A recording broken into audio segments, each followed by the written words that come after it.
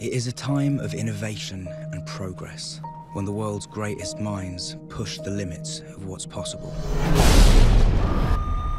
and delve deep into the unthinkable.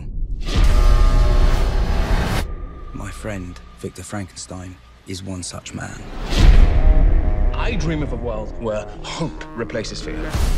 Where a crippled man can be healed to walk again. What if we could give every life the chance it deserved? Igor, Help me change the world.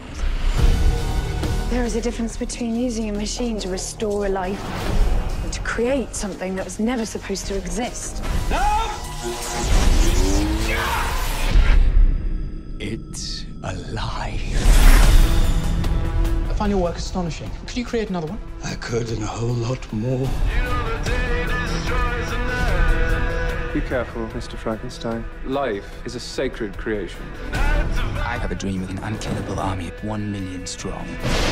Victor, you promised me this was all about life.